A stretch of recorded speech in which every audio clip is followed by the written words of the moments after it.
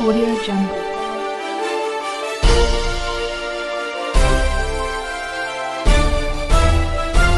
Audio Jungle.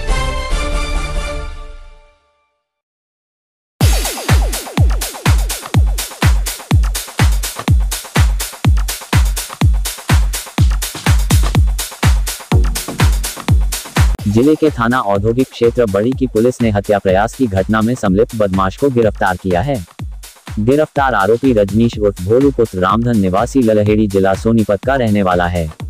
ज़िले के थाना खरखौदा की पुलिस ने हत्या प्रयास की घटना में संलिप्त एक और आरोपी को गिरफ़्तार किया है। गिरफ़्तार आरोपी विपुल उर्फ़ गोलू पुत्र राजेश निवासी रोहना जिला सोनीपत का रहने वाला है।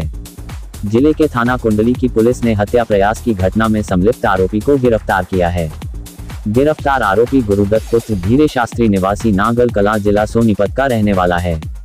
ज़िले के थाना बड़ौदा की पुलिस ने उद्घोषित अपराधी को गिरफ़्तार किया है। गिरफ़्तार आरोपी वेदपाल उर्फ़ वेदु पुत्र इंद्र सिंह निवासी रूखी जिला सोनीपत का रहने वाला है। ज़िले के थाना औद्योगिक क्षेत्र बड़ी की पुलिस ने अवैध हथियार सहित आरोपी को गिरफ़्तार किया है।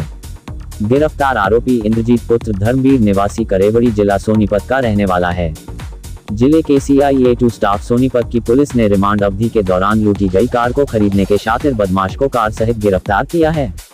गिरफ़्तार आरोपी उधम सिंह उर्फ़ भरतरी पुत्र रविंद्र प्रकाश निवासी गवालिसन जिला झज्जर का रहने वाला है। पुलिस अधीक्षक जशनदीप सिंह रंधावा ने आज गोहाना में अपराध गोष्ठी के दौरान पर्यवेक्षण अधिकारी, थानाध्यक्षों एवं यूनिट प्रभारियों को अपराध पर अंकुश लगाने तथा पेट्रोलिंग व गश्त बाने के सख्त दिशा निर्देश दिए हैं।